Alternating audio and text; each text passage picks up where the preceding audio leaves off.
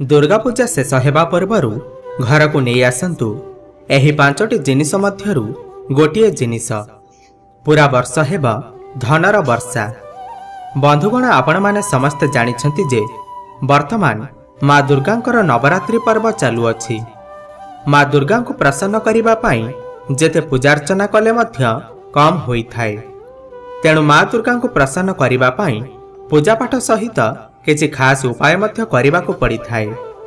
ଯଦି ଆପଣ ସେହି ଖାସ୍ ଉପାୟଗୁଡ଼ିକୁ ଏହି ଦୁର୍ଗାପୂଜାର ଦଶହରା ପର୍ବ ଶେଷ ହେବା ପୂର୍ବରୁ କରିନିଅନ୍ତି ତେବେ ମା ଦୁର୍ଗା ଆପଣଙ୍କର ଉପରେ ପ୍ରସନ୍ନ ହେବା ସହିତ ଆପଣଙ୍କୁ ଅପାର ଧନ ଉପାର୍ଜନ କରିବାର ସୁଯୋଗ ପ୍ରଦାନ କରିଥାନ୍ତି। ଏହି ଉପାୟଗୁଡ଼ିକୁ କରିବା ପାଇଁ ଆପଣମାନଙ୍କୁ ଦୁର୍ଗାପୂଜା ଶେଷ ହେବା ପୂର୍ବରୁ ଏହି ପାଞ୍ଚଟି ଜିନିଷ ମଧ୍ୟରୁ କୌଣସି ବି ଗୋଟିଏ ଜିନିଷ ନିଜ ଘରକୁ ଆଣିବାକୁ ପଡ଼ିବ। ଏବଂ ମା ଦୁର୍ଗାଙ୍କୁ ସ୍ମରଣ କରି ପବିତ୍ର ମନରେ ଏହିସବୁ ଉପାୟଗୁଡ଼ିକୁ କରିବାକୁ ପଡ଼ିବ। ତେବେ ଆସନ୍ତୁ ସେହିସବୁ ଉପାୟ ଏବଂ ଜିନିଷଗୁଡ଼ିକ ବିଷୟରେ ଆଜିର ଏହି ଭିଡ଼ିଓ ମାଧ୍ୟମରେ ଆମେ ଜାଣିବା। ସେଥିପାଇଁ ଭିଡ଼ିଓକୁ ଶେଷ ପର୍ଯ୍ୟନ୍ତ ନିଶ୍ଚୟ ଦେଖନ୍ତୁ।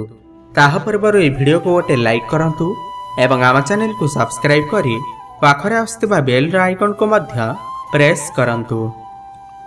ନମ୍ବର ୱାନ୍ ରୂପାର ପଇସା ଯଦି ଆପଣଙ୍କର ଘରେ ଦାରିଦ୍ରତା ଦୂର କରିବାକୁ ଚାହୁଁଛନ୍ତି ତେବେ ଏହି ପବିତ୍ର ନବରାତ୍ରି ପର୍ବ ସରିବା ପୂର୍ବରୁ ରୂପାର ପଇସା ନିଜର ଘରକୁ ନିଶ୍ଚିନ୍ତ ଆଣନ୍ତୁ।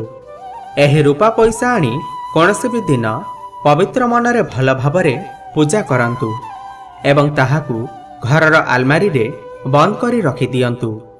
ଏଥିରେ ଆପଣଙ୍କର ଘରେ ଲକ୍ଷ୍ମୀଙ୍କର ବାସ ହୋଇଥାଏ ଏବଂ ଘରକୁ ବିଭିନ୍ନ ଦିଗରୁ ଟଙ୍କା ପଇସାର ଆଗମନ ହୋଇଥାଏ। ନମ୍ବର ଟୁ କଉଡ଼ି। ଯଦି ଆପଣଙ୍କୁ ଧନ ସମ୍ବନ୍ଧିତ କିଛି କାର୍ଯ୍ୟର ଅସୁବିଧାର ସାମ୍ନା କରିବାକୁ ପଡ଼ୁଛି ତେବେ ନବରାତ୍ରି ବା ଦୁର୍ଗାପୂଜା ଶେଷ ହେବା ପୂର୍ବରୁ ଗୋଟିଏ ହଳଦିଆ ବା ଧଳା କଉଡ଼ି ନିଜ ଘରକୁ ନିଶ୍ଚିନ୍ତ ଭାବରେ ଆଣନ୍ତୁ ଏବଂ ମାତା ଲକ୍ଷ୍ମୀଙ୍କର ପୂଜା କରିବା ସମୟରେ ଏହି କଉଡ଼ିକୁ ପୂଜା କରି ପୂଜା ସ୍ଥାନରେ ରଖିଦିଅନ୍ତୁ।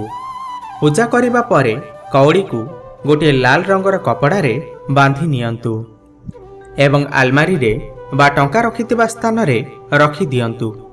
ଦେଖିବେ ପୁରା ବର୍ଷ ଆପଣଙ୍କର ଘରେ ଧନର ଅଭାବ ରହିବ ନାହିଁ। Number three.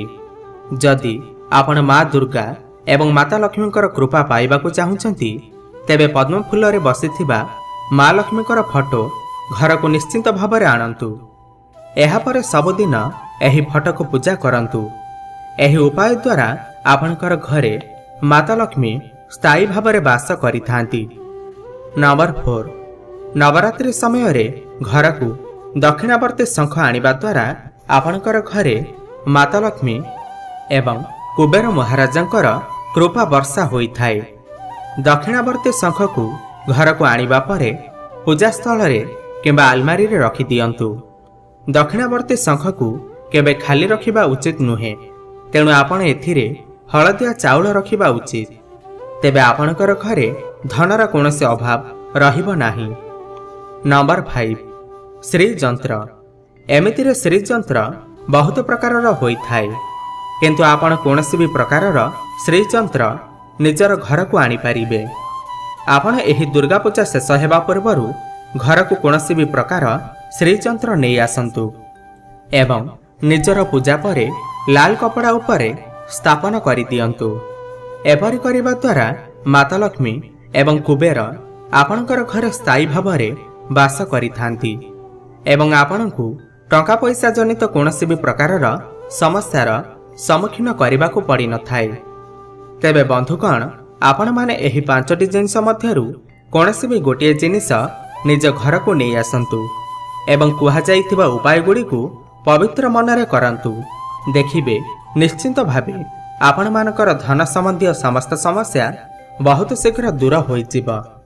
ତେବେ ଆପଣମାନେ ଯଦି ମା ଦୁର୍ଗାଙ୍କୁ ହୃଦୟରୁ ଭକ୍ତି କରୁଥାନ୍ତି ତାହେଲେ ତଳେ ଥିବା ଆମ କମେଣ୍ଟ ବକ୍ସରେ ଜୟ ମା ଦୁର୍ଗା ଅବଶ୍ୟ ଲେଖନ୍ତୁ ଏବଂ ଭିଡ଼ିଓକୁ ଗୋଟେ ଲାଇକ୍ କରନ୍ତୁ। ଧନ୍ୟବାଦ।